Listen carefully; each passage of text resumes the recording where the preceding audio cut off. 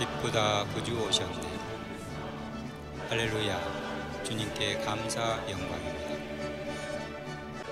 기쁘다 구주 오셨네. 만 백성 맞으러 구세주 탄생했으니 다 찬양하여라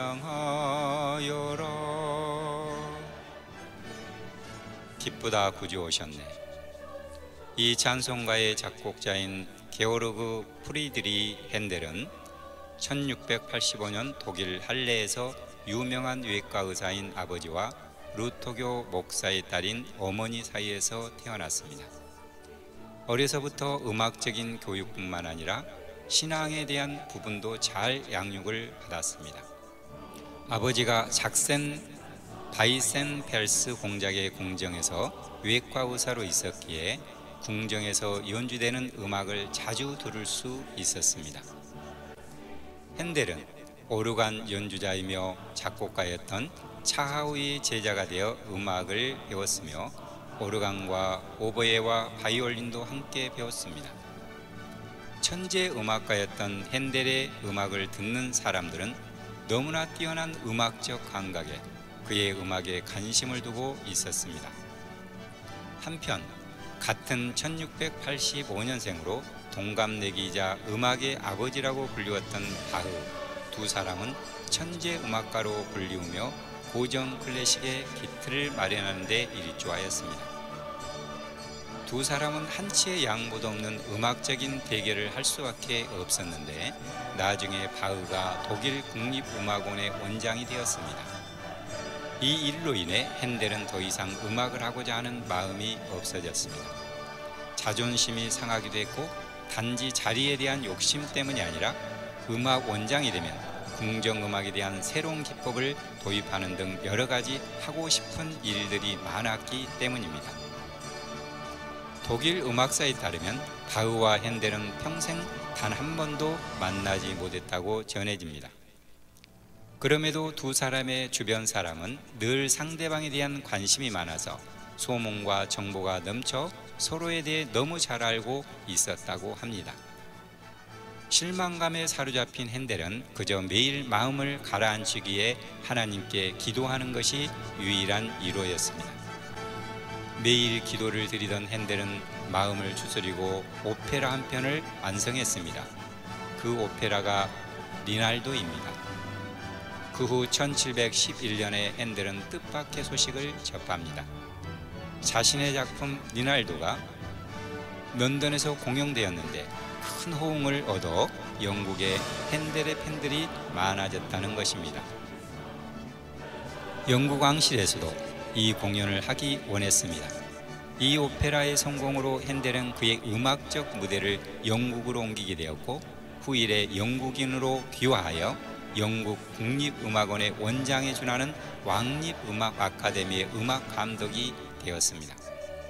이 리날도의 성공이 계기가 되어 핸델은 오라토리오 메시아를 만들게 되었습니다.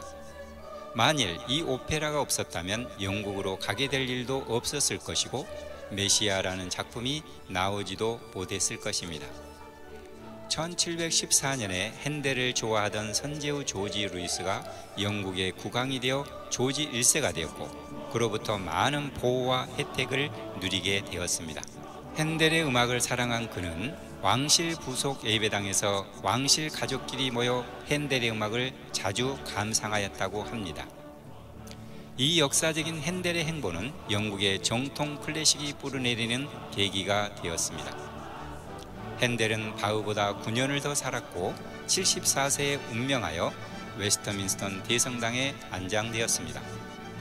웨스트민스터 수도원에는 기쁘다 구주 오셨네 작곡가인 핸델과 작사자인 아이작 와츠 두 사람의 동상이 있습니다.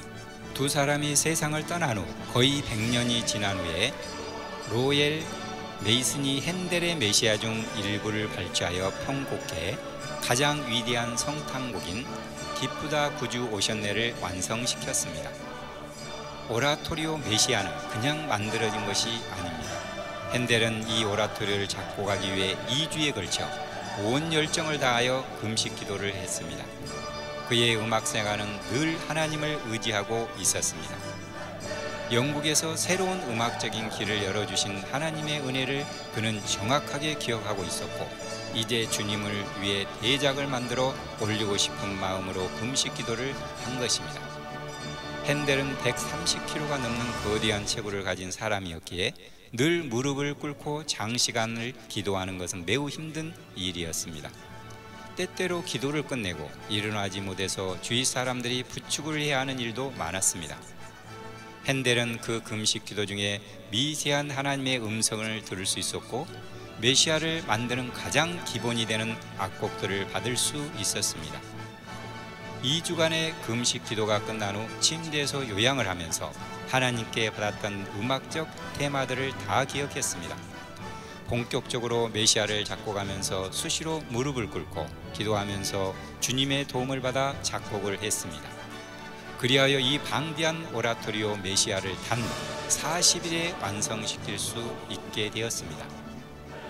이러한 사실로 볼 때 위대한 음악가인 핸델의 마음속에는 하나님에 대한 순결한 사랑과 온전한 순종의 자세가 있었음을 알 수 있습니다.